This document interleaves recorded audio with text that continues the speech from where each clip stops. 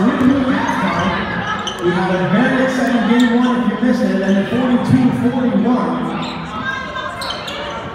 Damian Brown, aka Baby B, winning win. Celtics off the mark here early. They're playing back-to-back games, so we'll see if that factors in in the second half.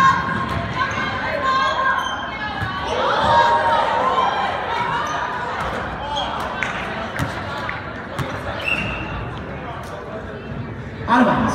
Celtics ball.